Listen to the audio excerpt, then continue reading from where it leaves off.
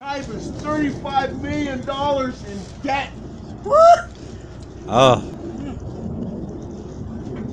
Who could call themselves a leader? I think we all know how to balance a checkbook. And then now our government's broke.